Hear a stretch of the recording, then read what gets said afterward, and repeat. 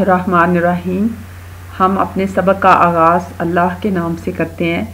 آج ہم اردو کی کتاب کے میں جو پیپل کے ننے دوست جو سبق ہے، اس کے بارے میں بات کریں گے۔ خوشی آباد کے جنگل میں پیپل کا ایک درخت اکیلا کھڑا تھا۔ پیارے بچوں، آپ اپنا کاپی، پینسل لیں اور ان کے ہجے اپنی کاپی پہ لکھیں، پریکٹس کریں۔ وہ اپنے دوستوں کو یاد کر رہا تھا۔ آپ کو پتہ ہے کہ آپ ہی اپنے دوستوں کو یاد کرتے ہیں۔ ہمیں سب سے زیادہ دوستی کس سے کرنی ہے؟ اللہ تعالیٰ سے۔ کچھ ماہ پہلے وہ سب اس کے پاس تھے۔ کچھ ماہ پہلے وہ سب اس کے پاس تھے۔ دنیا میں سوائے چوبیس گھنٹے زندگی کے ہر ہر لمحے صرف اللہ کی ذات ہے جو بندے کے پاس رہتی ہے۔ وہ سب دوست بہت خوش تھے۔ خوشی جو ہے آپ کی مرضی ہے۔ آپ کے پاس جو اللہ کی نعمتیں ہیں، ان کا شکر ادا کریں تو آپ ہمیشہ خوش رہیں گے۔ ان درختوں میں پرندے رہتے تھے۔ یعنی جنگل میں درختوں میں پرندے رہتے تھے۔ ہم نے پہلے واحد جمع کیے ہیں تو درخت کی جمع درختوں ہیں اور پرندے، پرند، بہت زیادہ۔ ان پر پھل بھی لگتے تھے یعنی جنگل میں درختوں کے اوپر پھل بھی لگتے تھے۔ پھل مزے مزے کے کتنی زیادہ کس اقسام ہے پھلوں کی۔ لوگ وہ پھل مزے سے کھاتے تھے۔ آپ کو پتہ نا پھل کتنے مزیدار ہوتے ہیں، میٹھے۔ لوگ مزے سے کھاتے ہیں انہیں۔ آپ کو کون سا پھل پسند ہے؟ سردیوں میں علیحدہ پھل ہوتے ہیں، گرمیوں کے علیحدہ۔ لوگ درختوں کے سائے میں آرام کرتے تھے۔ آپ کو پتہ ہے کہ جو بھی درخت ہوتے ہیں، ان کے نیچے سایہ ہوتا ہے، دھوپ نہیں گزر سکتی۔ ایک دن وہاں کچھ لوگ آئے یعنی جنگل میں ایک کچھ لوگ آئے۔ انہوں نے چند گھنٹوں میں بہت سے درخت کاٹ دیے۔ درخت کاٹنے سے پھل بھی نہیں لگیں گے درختوں کے اوپر، پرندے بھی نہیں آ کے بیٹھیں گے، سایہ بھی ختم ہو گیا۔ وہ لوگ کٹے ہوئے درختوں کو ٹرک میں لاد کر لے گئے۔ یعنی انہوں نے درخت کاٹے اور پھر ان کٹے ہوئے درختوں کو ٹرک میں لادا اور لے کے چلے گئے۔ جنگل میں پیپل کے درخت کے سوا کچھ نہ رہا۔ پرندے اور جانور جنگل سے چلے گئے۔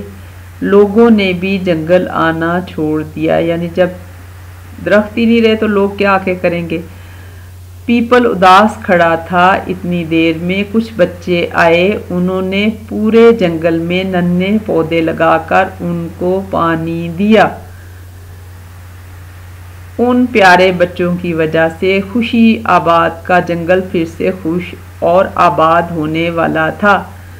آپ کو پتہ ہے کہ پودا لگانا صدقہ جاریہ ہے۔ حدیث شریف میں ہے کہ کوئی بھی مسلمان جو ایک درخت کا پودا لگائے یا کھیت میں بیج بوئے، پھر اس میں سے پرند یا انسان یا جانور جو بھی کھاتے ہیں، وہ اس کا صدقہ جاریہ ہے۔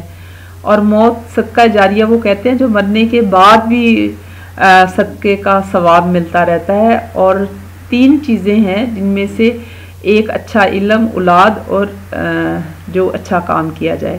اب آپ پڑھیں اور کیا لکھا ہوا ہے؟ یہ ہے اکیلا۔ تو اکیلا تو بندہ کوئی بھی نہیں ہوتا، ہر وقت اس کے ساتھ دو فرشتے ہوتے ہیں اور اللہ تعالیٰ بھی ہوتا ہے۔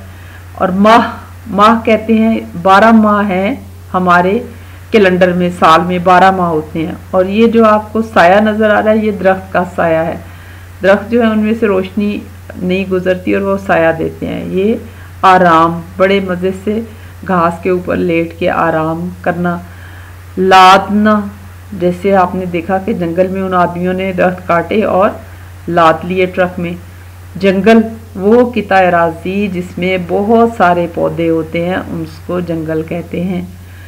دوستوں، اب دوست جو ہیں جو جنگل میں پیپل کے پاس جاتے تھے، بچے پرندے، جانور، یاد یاد، بندہ دماغ میں سوچتا ہے، یاد رکھتا ہے۔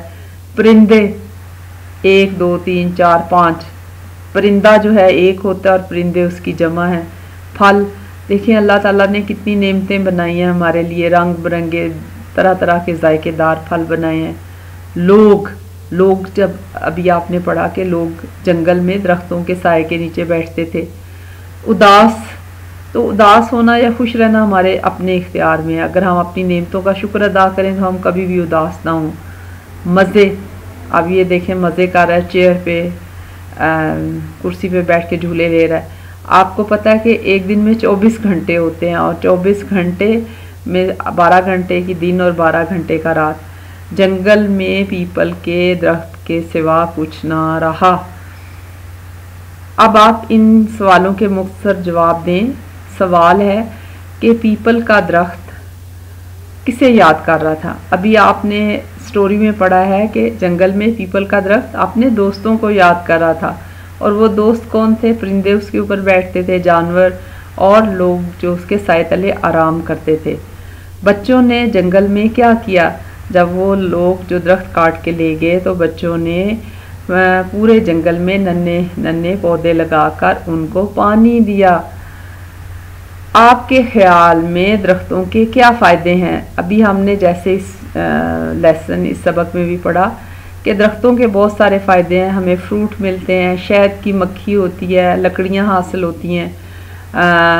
اس کے علاوہ جنگل جو ہے وہ زمین کے کٹاؤ کو روکتے ہیں، سیلاب کو روکتے ہیں۔ اور سب سے بڑا فائدہ یہ ہے کہ ہمیں آکسیجن ملتی ہے اور کاربن ڈائی آکسائڈ کو یعنی یہ صاف کرتے ہیں ہوا کو۔ اس کے علاوہ رنگ برنگ کے تتلیاں، پھول، جانور، یہ سارے ہمیں جنگلوں کے فائدے ہیں۔ اب یہ ہے کہ الفاظ اور متصاد، جیسے اداس اور خوش، ایک لفظ کا معنی دوسرے کی ضد ہوتا ہے متضاد جیسے دن کا متضاد ہے رات۔ اسی طرح یاد کا بھول جانا، آباد کا برباد کر دینا اور جانا اور آنا یعنی متضاد ان الفاظ کو کہتے ہیں جو ضد ہوتے ہیں، الٹے ہوتے ہیں معنی میں۔ تو یہ ویڈیو آپ کی طرف سے پاکستان ہوم سکول کی طرف سے پیش کی گئی آپ یوٹیوب چینل پہ جائیں اور اس کی باقی ویڈیوز بھی دیکھیں۔